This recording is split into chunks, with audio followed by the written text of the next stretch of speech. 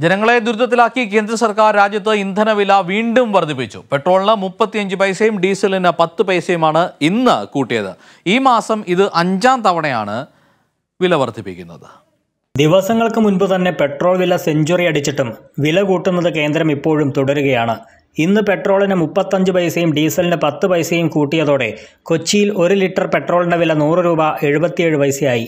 തിരുവനന്തപുരത്ത് നൂറ്റി രണ്ട് രൂപ അൻപത്തിനാല് പൈസയാണ് ഇന്നത്തെ വില. കോഴിക്കോട്ടും പെട്രോൾ വില നൂറ്റിയൊന്ന് പിന്നിട്ടു. അതേസമയം ഡീസൽ വിലയും നൂറിലേക്ക് അടുക്കുകയാണ്. തിരുവനന്തപുരത്ത് ഒരു ലിറ്റർ ഡീസലിന് തൊണ്ണൂറ്റാറ് പോയിന്റ് രണ്ട് ഒന്ന് രൂപയായി. കൊച്ചിയിൽ തൊണ്ണൂറ്റിനാല് രൂപ അൻപത്തിയഞ്ച് പൈസയും കോഴിക്കോട്ട് തൊണ്ണൂറ്റിനാല് രൂപ എൺപത്തിയൊന്ന് പൈസയുമാണ് ഇന്നത്തെ വില. തുടർച്ചയായി അർദ്ധരാത്രിയിൽ ഇന്ധനവില വർദ്ധിപ്പിക്കുന്ന കേന്ദ്ര സർക്കാർ നടപടി മൂലം സാധാരണക്കാരന് ജീവിക്കാൻ കഴിയാതായെന്ന് ജനങ്ങൾ പ്രതികരിച്ചു.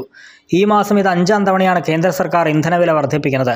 കഴിഞ്ഞ മാസം പതിനാറ് തവണയായി പെട്രോളിന് നാല് രൂപ അൻപത്തിയെട്ട് പൈസയും ഡീസലിന് നാല് രൂപ ഇരുപത്തെട്ട് പൈസയുമാണ് കൂട്ടിയത്. കോവിഡ് പ്രതിസന്ധിയിൽ ജനം വലയുമ്പോഴും കേന്ദ്ര സർക്കാർ ഇന്ധനക്കൊള്ള തുടരുകയാണ്. कईरली न्यूज़ कोची